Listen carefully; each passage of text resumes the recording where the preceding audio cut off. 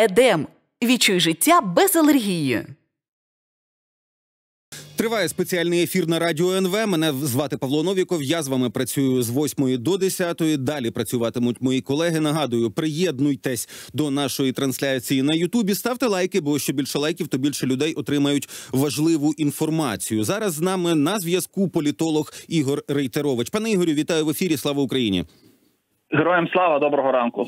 Ну сьогодні всі напевно в Києві прокинулись трохи раніше ніж планували, так але з того, що я побачив уже по тих відосиках, які є в телеграм-каналах, причому російських телеграм-каналах, мене найбільше потішила одна фраза, яка була сказана за кадром, коли отам у Пскові е, ну знімала людина вибух, і на фоні, ну тобто людина, яка знімає, скоріш за все, і говорить добро пожаловать в 24 февраля товариші. І оце усвідомлення про добро пожаловать в 24 февраля, тобто минулого року. Я думаю, що до когось із них починає доходити навіть у Пскові. І тут ще одна історія. Дуже багато, е, значить, постів е, і коментарів у російських пабліках. А чому не оголошують сигнали повітряної тривоги, якщо вже ну точно багато чого прилітає, точно є вибухи, точно є збиття, точно є влучання, і все одно вони не хочуть повітряну тривогу вмикати. Що ви про це думаєте? Вони дістануть своє керівництво і змусять вмикати повітряні тривоги?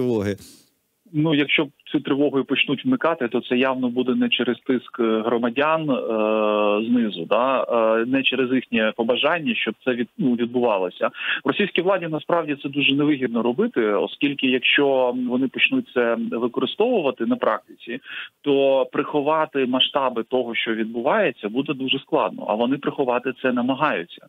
Е, Я переконаний, що ми не почуємо і не побачимо, наприклад, е, по федеральним е, змі дуже багато інформації про е, цінічні події, або вона буде подаватися там вкрай дозовано. Ну в плані такому, що всі атаки відбито, е, постраждалих і руйнувань е, там немає, або відбулися певні хлопки, як вони сьогодні написали. Там З хлопками у них в дуже багатьох областях було власне. Вони вже один раз писали після української чи невідомої атаки на якийсь військовий аеродром, що були пошкоджені неіспользуємі самольоти. От зараз вже ж РІА Новості визнало, типу, що пошкоджені чотири борти Іл-76, Вони спробують сказати, що це те, що давно не літало, і нам воно геть не потрібне було. Ми самі збирались його в утиль здати, а тут українці помогли. От вони так будуть це робити.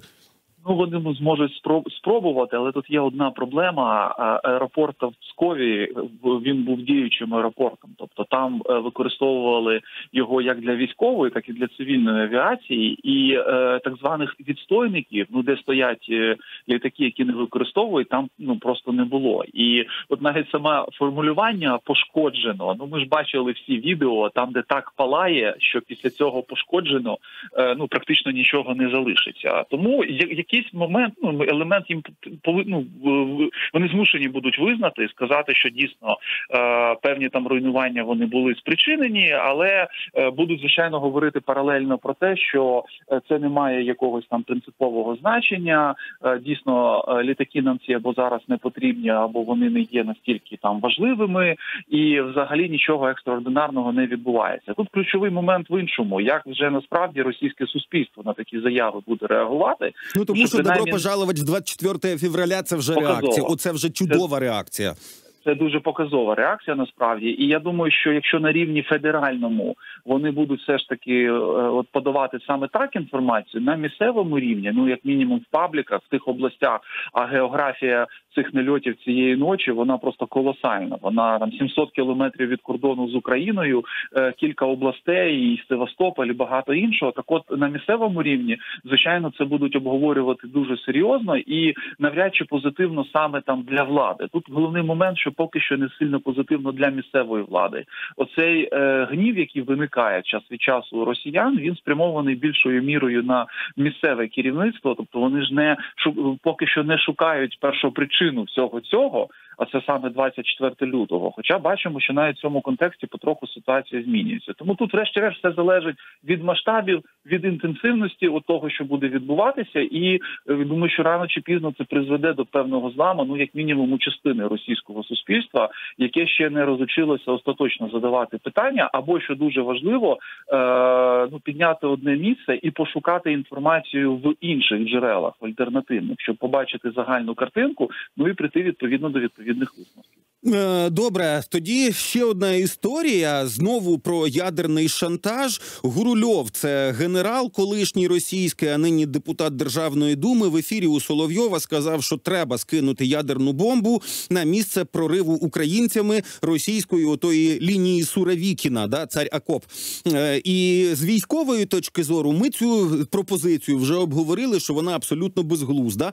Але з політичної точки зору про прізвище Гурульов навряд ну я точно не чув до вчорашнього дня, коли побачив цю новину. Е, і власне про нього навряд чи хтось чув як про живу істоту взагалі десь за кордоном. А от для своєї аудиторії це буде заходити. Він, до речі, для своєї аудиторії достатньо знана особистість, оскільки він не вилазить там з цих ефірів пропагандистських ток-шоу. Його там запрошує. Він же там генерал, і типу командував е, якоюсь частиною, яка зараз воює на фронті. І от його от в цьому статусі використовують. Був період невеликий, коли його, до речі, відлучили від ефірів, тому що він же цю історію з генералом Поповим, якого відправили е, в Сирію, через те, що він виступав проти е. Ну, вищого командування, якраз висвітлив Гурильов. і він це взяв закритого якогось військового чату. Йому за це прилетіло, але потім його повернули, оскільки військових в них так званих дуже мало. А він е, себе достатньо впевнено в ролі цього пропагандиста почуває для внутрішньої аудиторії. Звичайно, певний вплив буде. Там він е, пояснював до речі, там не одну навіть ядерну бомбу. Він говорив чотири значить, постріли зробити е, снарядами з ядерними там цими боєголовками. Але там була така цікава фраза, е, що ми нанесемо ці удари, потім почекаємо, коли все вивітриться, зайдемо, зберемо техніку ну тобто яка там залишиться, і будемо собі виконувати ну подальші завдання. Тут е, я звичайно почекаємо це років 30, Ну тому що Чорнобиль ми пам'ятаємо, років 30 почекати треба буде на металобрухти. Навряд чи вона там може для чогось знадобитися, але суть не в цьому. Суть в тому, що такі заяви в них виникають, як правило, коли в них е, критична ситуація на фронті. От що ви думаєте про самопочуття псковських десантників, поки вони тут воюють на півдні України, десь у Запорізькій області, то ну по їхній рідній базі наразі прилетіло вже? Це насправді дуже важливе має значення, оскільки це наносить удар саме по їхньому е, ну моральному духу і взагалі по їхньому відчуттю, сам самовідчуттю, що їм же та розказують, що війна буде на чужій території малою кров'ю, як вони люблять цю фразу цитувати ще Сталіна. А виходить, що і тил в них абсолютно в небезпеці, і за великим рахунком неважливо, де ви знаходитеся. Вас дістануть де тільки можна. Тим більше, що нас до е, цих військових дуже таке, знаєте. Е, ну прискіпливе ставлення. Ми знаємо, якими операціями вони займалися, і за які військові злочини, в тому числі, вони несуть відповідальність. Тому чим більше таких тилових, до речі, буде ударів, особливо по частинам, які безпосередньо знаходяться в Україні, ну це буде більшим деморалізуючим фактором, і буде більше їх виводити ну з стану такого, ну який є прийнятним для ведення там ефективних якихось бойових дій. Ну тобто, коли вже тиловіше не придумаєш, база своєї рідної дивізії за зазнала ударів, то напевно про це багато хто з псковських десантників поговорять між собою. Слухайте, хотів ще одну російську подію з вами обговорити. Ну, по перше, там урочисто поховали Пригожина, але вже з'явилася заява речниці Білого Дому Карін Жан П'єр, що Білий Дім близький до того, щоб оголосити Кремль відповідальним за смерть Пригожина. Ну я теж розумію, що навряд чи без високої вказявки хтось натискав на кнопку кнопочку в е, системі протиповітряної оборони і збивав маленький бізнес-джет, який чітко ідентифікований ще як бізнес-джет. І тим не менше, оце визнання з боку Вашингтона, з боку Білого Дому. Це що може поміняти? Ну, це додатковий елемент тиску, це додатковий ну, бал, так би мовити, знаєте, от всю скарбничку визнання Росії саме терористичним режимом. І тут важливий ще момент. Я думаю, що це пов'язано навіть не стільки з гіпотетичними додатковими санкціями або ну підтвердженням того факту, який і так всі знають про методи, якими діє російський режим. Це в першу чергу сигнал, в тому числі російській еліті що подивіться, от від вас вимагають лояльності. Путін вимагає. Він вас втягує е, війну проти України і в інші якісь оборудки, які є абсолютно незаконними.